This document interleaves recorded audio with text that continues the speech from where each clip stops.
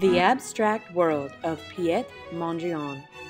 Mondrian was the second of five children in a family that loved art and music. His uncle, Fritz Mondrian, helped teach him to be a painter. He studied at the Royal Academy of Visual Arts in Amsterdam, where he focused on drawing from the model and copying old masters. Always further is how Mondrian termed his drive to transform his artwork. Mondrian was inspired by Cubist artists Pablo Picasso and George Braque. You can see the change in his art over time. His career was changing, and so was his art, the evolution of pure abstract in his depiction of the trees.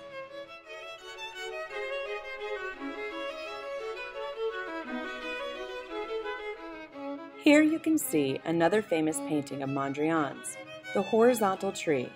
The violet and red stand out so beautifully, but you can also see a circle and two axes that make it look like a target. Then, in 1940, he developed a more colorful style that we know him by today. Colored lines and geometric shapes that bring his work to life.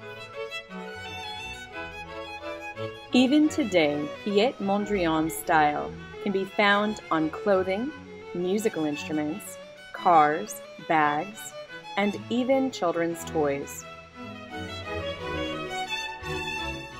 The Dutch painter Piet Mondrian died in 1944, but his art will forever live on.